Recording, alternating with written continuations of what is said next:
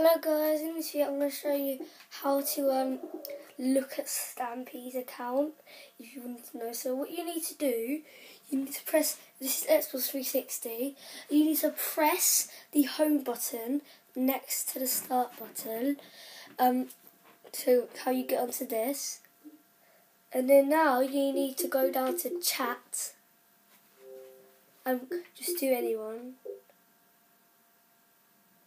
Now, just en enter a game tag and, and then do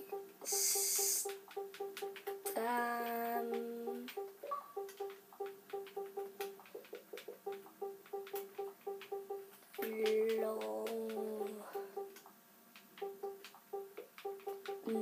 no and then you press done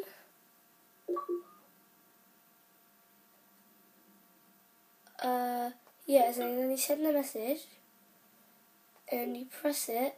Look, that's what his that's what his um thing is, and then you just view profile. Yeah, and then you can you can like do stuff that you can look at his account. You can view his friend. Oh, he doesn't have any. What?